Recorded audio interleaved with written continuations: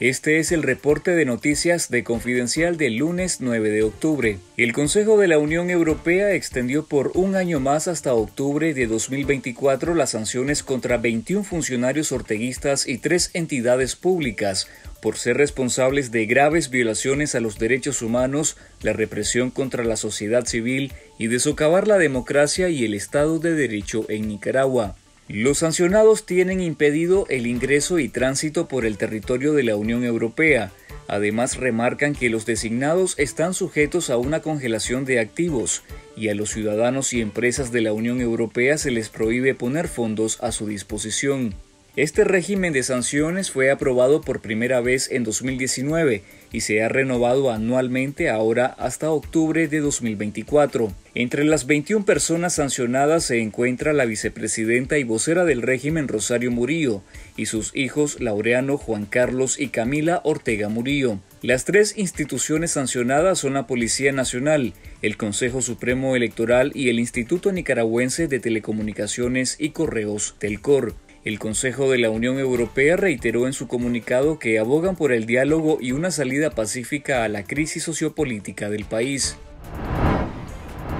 La dictadura arrestó el fin de semana a los sacerdotes Yesner Cipriano Pineda, párroco de la iglesia Nuestra Señora de Lourdes en Ocotal, y el padre Ramón Angulo Reyes, de la parroquia Nuestra Señora de Fátima en el municipio de El Rama de la costa Caribe Sur, Ambos arrestos fueron confirmados por fuentes vinculadas a la Iglesia Católica. Son el quinto y sexto sacerdote detenidos ilegalmente por el régimen en una semana, en una ola de persecución contra la Iglesia Católica. Con ellos suman 13 religiosos encarcelados por Daniel Ortega, incluyendo el obispo de Matagalpa Rolando Álvarez, condenado ilegalmente a 26 años de cárcel en venganza por negarse al exilio.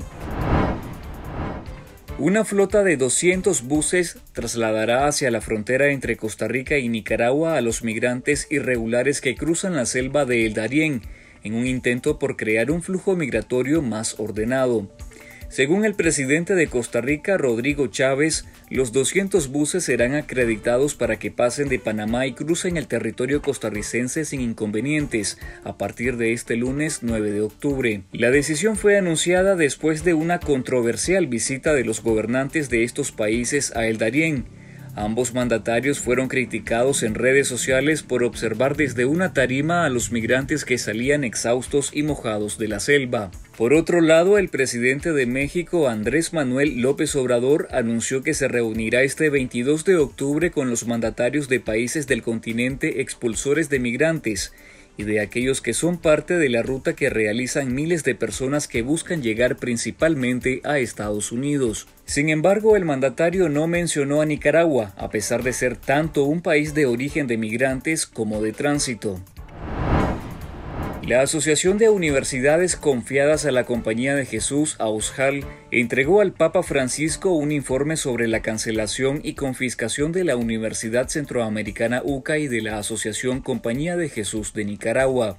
El informe menciona que la deriva autoritaria del régimen encabezada por Daniel Ortega ha defraudado las esperanzas que alguna vez depositó el pueblo de Nicaragua en el sandinismo y que ahora observan con preocupación cómo un poder temporal arbitrario e injusto pretende vulnerar los derechos de un pueblo que ha luchado arduamente por ser libre. Los jesuitas señalan en su informe entregado al Papa que la dictadura de Ortega y Murillo han sumido al sistema político del país en el autoritarismo y exhortan a que el apoyo de la comunidad internacional debe centrarse en frenar los avances orteguistas que engullen cada vez más partes del alma y cuerpo del pueblo nicaragüense. Lea los detalles en confidencial.digital. En nuestro canal de YouTube Confidencial Nica te recomendamos el más reciente episodio de las noticias satíricas en Fuera de Broma, titulado Los gringos sandinistas y el escándalo Norton Gate, Ortega y las milicias terroristas de Hamas. Nicaragua está con Rusia porque es lo correcto, es lo justo. Laureano Ortega Murillo anduvo en Moscú ofreciendo la soberanía nacional a los rusos, mientras el régimen acusó al partido indígena Yatama de ejecutar actos que menoscaban la independencia, la soberanía y la autodeterminación de Nicaragua. El chiste se cuenta solo, pero no está de más decir que la dictadura ha sido la única que ha menoscabado la autonomía de las comunidades indígenas y afrodescendientes. Gracias por ver este video.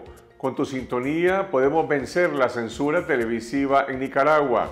Y si aún no lo has hecho, suscríbete a nuestro canal en YouTube. Necesitamos tu apoyo a Confidencial para seguir informando a nuestras audiencias y divulgando la verdad.